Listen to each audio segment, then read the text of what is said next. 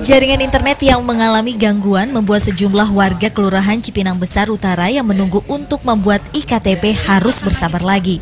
Petugas Kelurahan Bidang Kependudukan Kelurahan Cipinang Besar Utara yang melayani pembuatan IKTP menyarankan kepada warga yang hendak membuat IKTP kembali lagi esok harinya. Ini untuk yang kedua ya, jadi bawa fotokopi kakak aja. Satu Oh, dua. Kalau yang persyaratan yang pertama itu kan ada gimana? surat panggilan. Surat panggilan. Oh, ini udah dipanggil. Nah, tadi pada saat mau bikin itu gimana, Bu? Katanya error ya udah. Error dari mana? Dari komputernya katanya. Komputernya. Warga berharap pemerintah secepatnya memperbaiki jaringan IKTP tersebut. Tidak hanya warga di Cipinang Muara yang harus menanti proses jadinya IKTP mereka. Satu tahun sudah proyek IKTP atau elektronik KTP berjalan, namun masih banyak warga yang belum mendapatkan fisik IKTP mereka.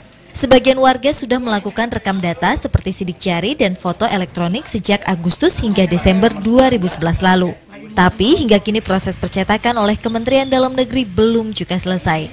Hal itu memancing komentar dari Wakil Gubernur DKI Jakarta. pengertian kita namanya elektronik KTP harusnya saya datang ke mana pun seluruh Indonesia langsung bikin langsung jadi dong langsung cetak dong. Itu kan baru namanya elektronik KTP kalau masih tunggu lama-lama kan justru jadi pertanyaan kita kan. Terus ada kewajiban kita mesti beli card reader.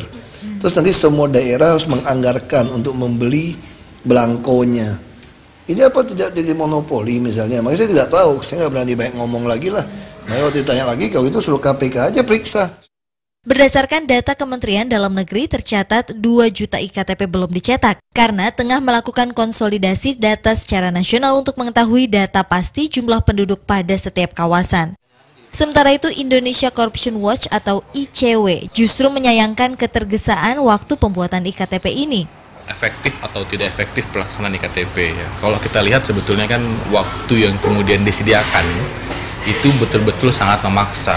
Jadi seolah-olah kesan bahwa pelaksanaan iktp ini hanya sebatas proyek. Ya bisa jadi itu demikian. Pendataan KTP elektronik sebagai data utama kependudukan Indonesia jelas adalah hal yang penting. Tidak boleh dilaksanakan setengah hati. Agar tidak sia-sia dan berkesinambungan dibutuhkan kesiapan pemerintah untuk menyediakan infrastruktur dan program pelengkapnya. Tim Reportase